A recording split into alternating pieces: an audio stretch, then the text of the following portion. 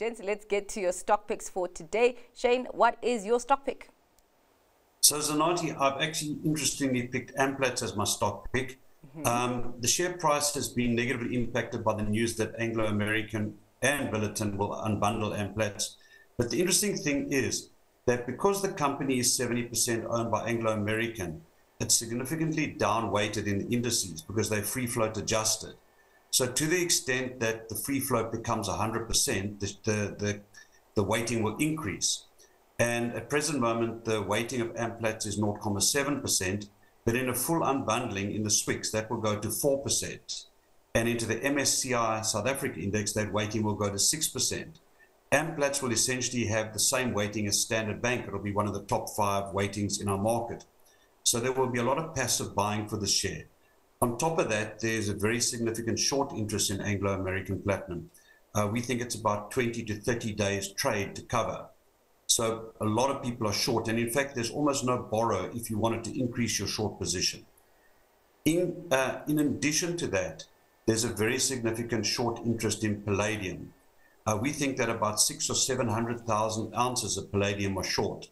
Now remember, the whole palladium market is only about 9 million ounces per annum. So if you combine the short interest in the underlying commodity and the short interest in the company itself with the potential upweighting, and then I think also the fact that actually Amplats is a reasonably good company. Um, it's probably got the best uh, platinum mine in the world in uh, Mogalakwena because it's an open cast mine, not an underground mine. We think those factors together combine to make this actually quite an interesting situation. And if the share does get sold off again on the unbundling, we think it's a good opportunity to buy it. Mm, all right. What are you buying, Devin?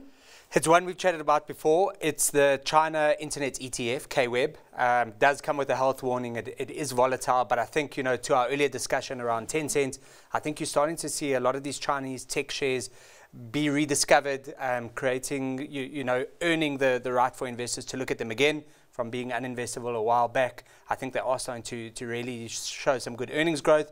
Uh, we've got JD, Alibaba, Tencent all in there. Oh. You're getting in one thing.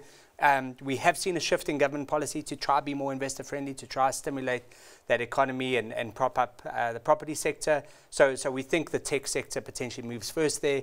We've started to see that move. It's up 20% odd in the last month. And, and we think that could be lead the charge higher from China. All right. Well, thank you so much for your time, uh, gents, and for coming to studio. Uh, that is all for tonight's Stock Watch. Thanks to our guests, Shane Watkins from All Weather Capital and Devin Shutte from the Rebay Group. Up next, The Close. Stay with us.